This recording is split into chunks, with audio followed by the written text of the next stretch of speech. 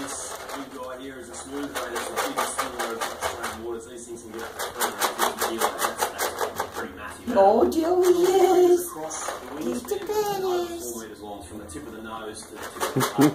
you can imagine messing with this guy. He's got the power and the size, and they do have the Feeding time.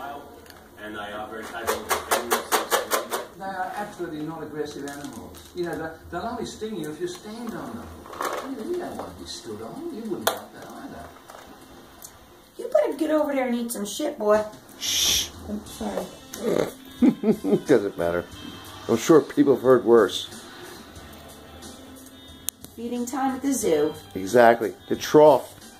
But no trough. Just a carpet. Here's my little Benny. Measures. Australian dream. He wants Next his come own. down to the mm-hmm. coastline. He's like, I'm the king, give me my a own. We're going to check out some rock pools.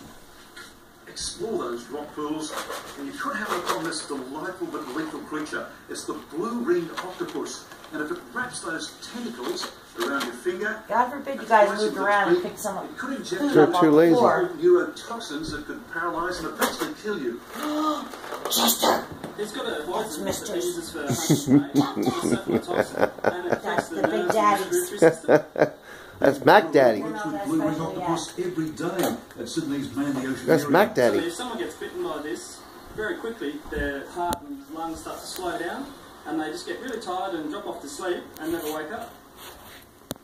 This little guy, the blue ring octopus, hunt in ambush style things like crabs, um,